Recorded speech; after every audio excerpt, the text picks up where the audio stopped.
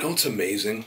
The fact that I'm live, that I haven't had the Sunday scaries in eight months. One of the best parts about what I'm doing, right? It's Monday morning right now, about 8.30. I don't need to rush to get up to work. I gotta do laundry. I'm gonna hit the gym first, get a couple errands done. This is like the most rewarding thing in the world being able to work for yourself and do this. Just having no rush and having not to do anything for anyone at a certain time or anything, man. And this is like, realistically, this is what it's all about. Just having this kind of freedom. I don't know. I'm just very thankful this morning. For some reason, I'm feeling thankful, feeling thankful. So, hope you guys have a good week. Y'all worked fucking hard. Two weeks to Boston. Diet and fitness starts now. Ah.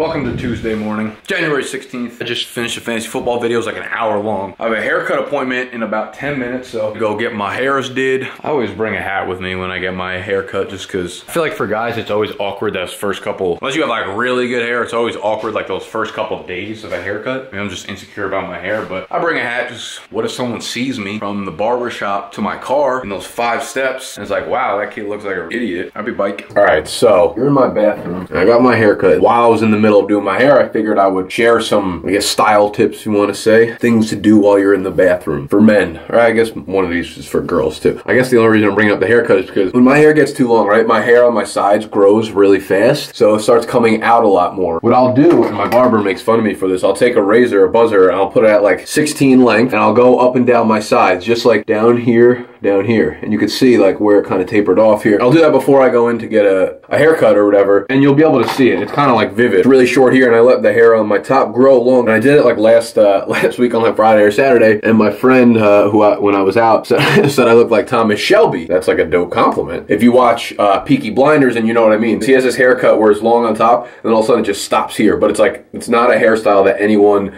our age or in our generation would ever have. It only looked like that because I, I cut the sides. So the reason I do that, I keep it long on the top, short on the sides, is because if you have like a, a rounder face, which I kind of feel like I have, you're trying to elongate your face, what makes your face look skinnier and it makes you look like you have a jawline or whatever, you want to have volume on the top of your hair so it makes everything longer. And a couple ways you could do that was one, just keep the hair naturally longer on the top of your head. Two, when you come out of the shower and your hair is like wet or damp, you take a blow dryer, put it on hot, put on high, medium speed, doesn't really matter. What you want to do is just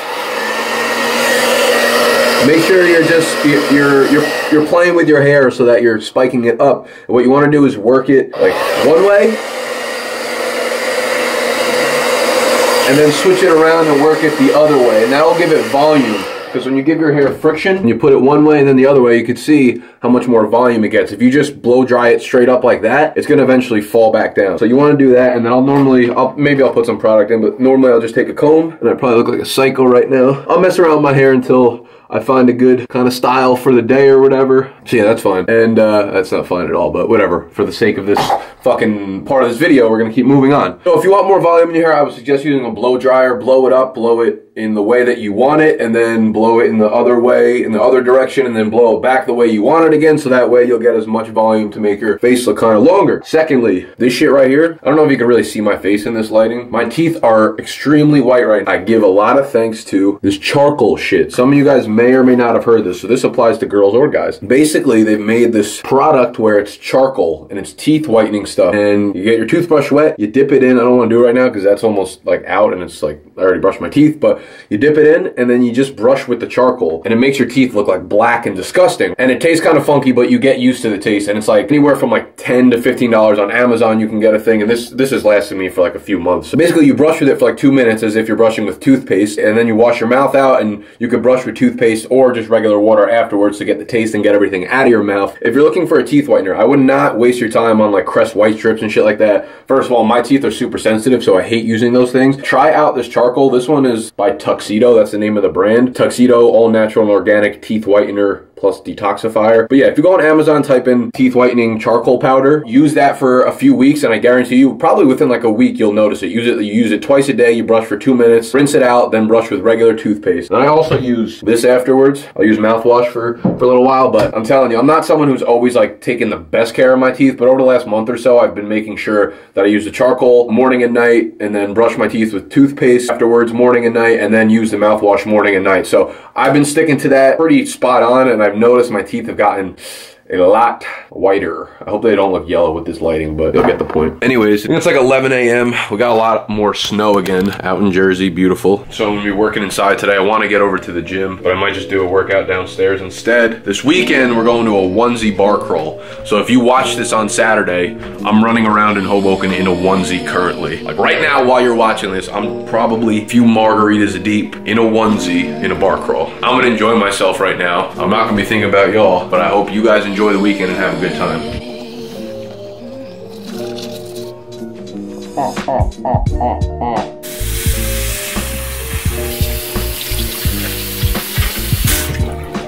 With this shit, you gotta be super careful because the charcoal will get all over like you and your your sink and the bathroom area. If you see some spill, you gotta clean that shit up right away. Otherwise, it's gonna stain. Well, not stain, but it's gonna be a pain in the ass to get off. So it gets messy. So be very careful, especially if you're using it for the first time. I'm an OG, OOG. This is actually a new brand that I just started using. I just got this one just got delivered today because I ran out of my other one. I brush with that, then I'll throw toothpaste on real quick. Come on, my guy. I'll brush with this for another minute or two minutes, and then I'll use mouthwash, and uh, and then my teeth will be looking.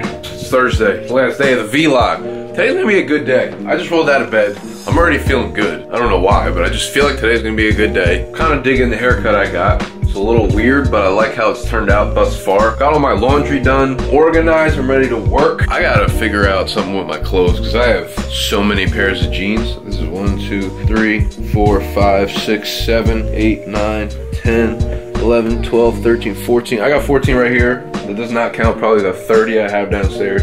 I gotta make a video for you guys, for, for the dudes out there. Best places to buy jeans, best styles of jeans for 2018. I will make that video and get that out to you sometime soon within in the coming week or two. Just ordered. Listen, I've been sleeping in a twin size bed my entire life. Even at college, I had a twin size bed. Man, I'm, I'm used to sleeping in these crammed up spaces, right? But like, I'm 25 years old. That shit is not fun to sleep in by yourself or with somebody else. My mom sleeps in a twin size bed also. We both just ordered full size beds off Amazon. They're those beds that come, they're, it's a foam, like Tempur-Pedic-ish type mattress. Same thing that I got with, with the one I have now. It's super, super comfortable. It's one that comes like rolled up. It's in a little tiny box they put outside your door. You come in, you unroll it, and you let it inflate. And also, see I'm cleaning out all my clothes. I'm like, unnecessary stuff in my closet. I'm, I'm not giving it away, but I'm gonna see if my friends need clothing. Those are the kind of beds we got. And I went on Amazon and I was looking through some of them. You can get them for like $180 a full or queen size bed with like 12,000 reviews. They're like four and a half stars. So they're supposed to be really good. So I got a full, I got one with a headboard. So that should be coming either Friday, tomorrow or Monday. So I'm super pumped up. Start sleeping like a normal human being over the age of 12. What else? We're about to get into some work. Just made some tea. Oh no, I didn't put the water in it yet. You know what happens every time I make tea now? Put it in like that and then I forget it's there and I let the tea bag sit in there for like 30 to 40 minutes out of control. Still drink it. I was leaving it in for like an extra nine minutes just, just because! I talked about on the last episode, my last vlog, about the company Move You that I was reaching out to, that I wanted to work with at Move You, I think, on Instagram. You'll see they have like 450,000 followers. I, I got in touch with them. They said they were gonna reach out to me sometime this week. That was on Friday. So I followed up with them in an email last night. So hopefully I hear back from them either today or tomorrow or over the weekend or something. So I will definitely keep you guys updated on when I hear back from them.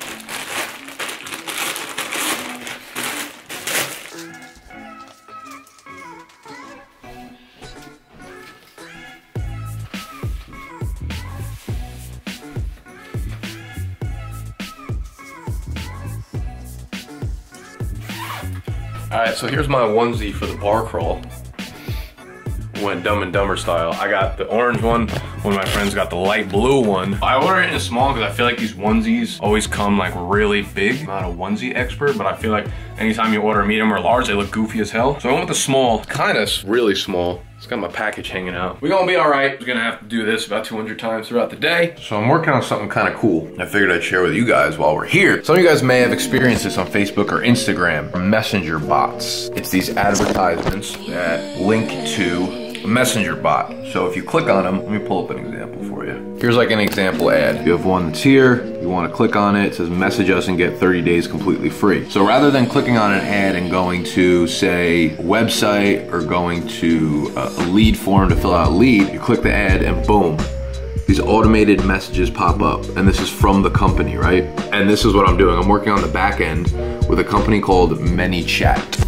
I'm pretty much creating a step-by-step conversation that I would have with a potential customer once they message us because these are messages that pop up automatically to the customer. You kind of create like a flow called a flow build. You want to make sure you have every step in line. Most of the things that you send them are multiple choice questions. Do an example of it.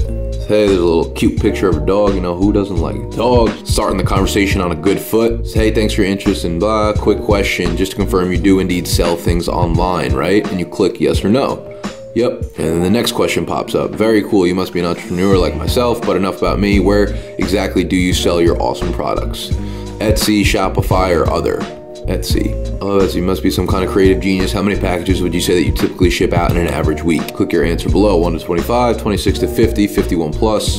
You know, and it, and it goes like that. And for every option that they have, each question basically has three answers to choose from. And you choose an answer and it'll give you a different response depending on what answer you chose. This is something that I've been working on with one of my clients because it's been a lot more successful generating leads. Customer acquisition can be tough, especially with the company I'm working with. They kind of just started out, so people don't really know the brand, they don't know the name that well. So it's tough for people to come onto the website, get all the info, and then want to sign up for a free trial because they're kind of unsure about it. When you get them into the into the messaging platform, it makes them a lot more comfortable, right? Because that that, that takes away any non-human interaction you're gonna have. So you're getting a lot of info there, you're already involved with the customer. And also, the cool part about the software, ManyChat, that's what it's called.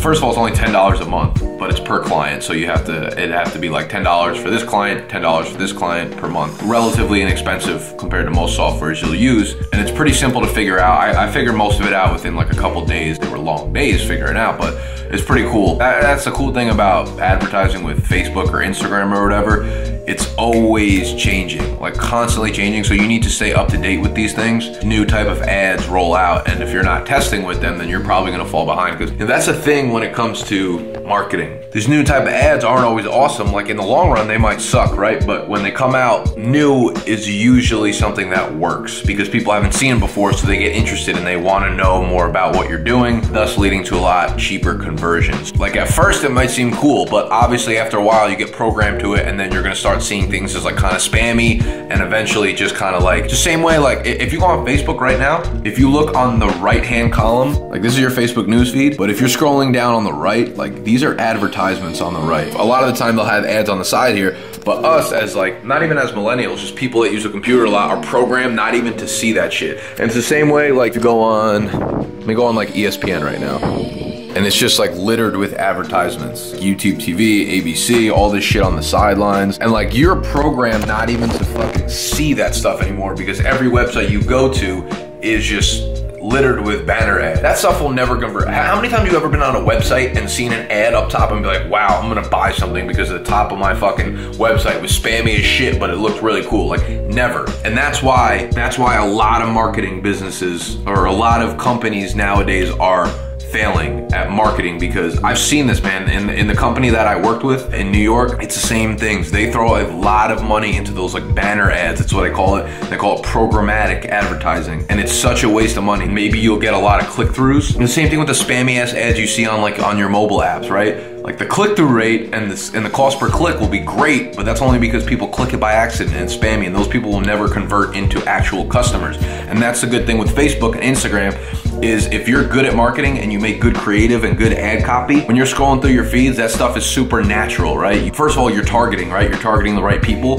So if, if I'm marketing for FantasyJocks, obviously I only want to be targeting people that are very interested in sports, very interested in fantasy football. So that when they're going down their news feed, right, you gotta think marketing. The difference between like Google marketing, like search, and Facebook is Google, a lot of people are, um, when they're starting their business, they're unsure, like, do I, do I invest heavily in Google? Do I invest heavily in Facebook? Like, what do I do? They're completely different in the fact that if someone is finding you via Google, that means they are looking for you. If someone's finding you via Facebook or Instagram, you're being disruptive to their newsfeed, right? They're not looking for you. They're, they're going on these social feeds to get new news, to find out what their friends are doing. And you, the content you create has to be so good they stop and they're like, wow, I'm going out of my way to look at someone's content that I don't even follow, but it's good enough that I'm interested, that they, they provided me value, maybe they're selling me something very cool, that I'm gonna click on what they're doing. That's a difference. Like Facebook, you're finding people who aren't looking for you, but you have to give them value and give them something that's so good. Google, people are looking for you, you know? So it's two completely different types of marketing. So it's not one or the other. It's not, you're comparing apples and oranges. I don't even remember why I'm getting sidetracked. But yeah, I was just saying like, these are new types of ads that you're testing out and I've been working in the back end to really experiment with these things. And in my experience, they've been working very well. So I would, I guess that's just more so for marketing people. That's just the way the industry and a lot of and a lot of agencies are gonna fall behind because they still think that it's okay to spend marketing money on these stupid ass platforms.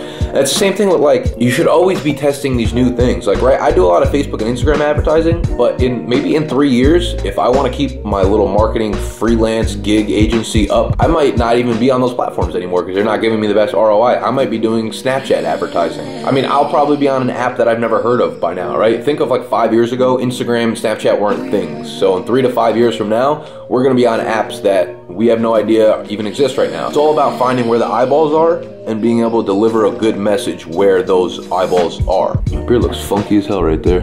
What is that? Yes, that's a little marketing 101 for you guys. I just wanted to, I like getting into the marketing stuff and I feel like I can explain it well, but I don't know if you any of you guys are interested in that stuff, so. Yeah, it is what it is. But that's gonna be the end of this episode. And I hope you guys enjoyed. Ugh. If you did, sure you scroll down a little bit, give it that thumbs up, and subscribe to the channel if you are new. We'll be back, as always, every Saturday. So I'll see y'all then.